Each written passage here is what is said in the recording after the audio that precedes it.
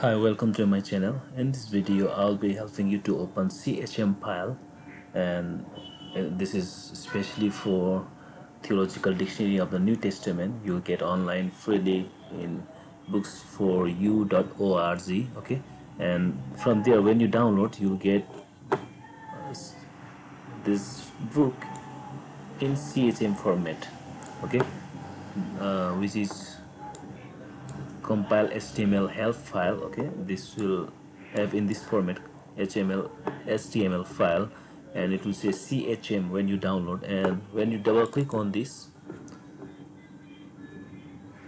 it will say do you want to open? This is in microsoft uh, i mean windows 10 so when you open it will say uh, ask it will ask okay? Then you have to say open.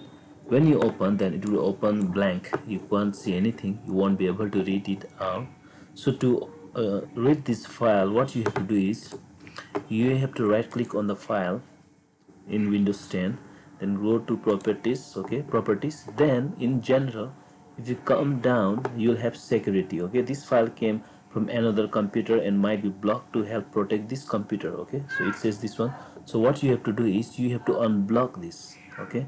Once you unblock it okay then apply then go for okay once you do that one then you'll be able to read theological dictionary of the new testament by carroll okay? It's really good one good dictionary for the new testament studies and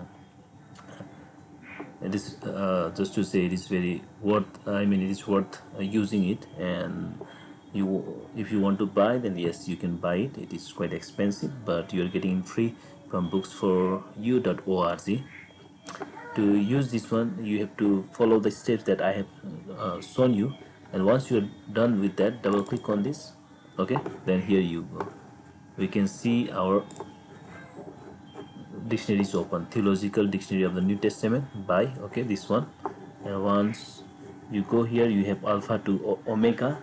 So let us click alpha. I want to read from alpha. Click. Then we have this all okay? Aaron we have uh, Aaron the first and last letters was not arranged. Okay so when we go for here Aaron then next page click here. Okay then next page and agalliaomai okay?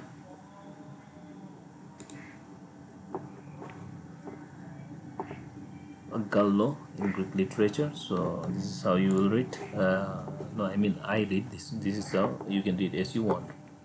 Angelos Angelia okay? So you'll have all this. Okay this is how you'll be able to open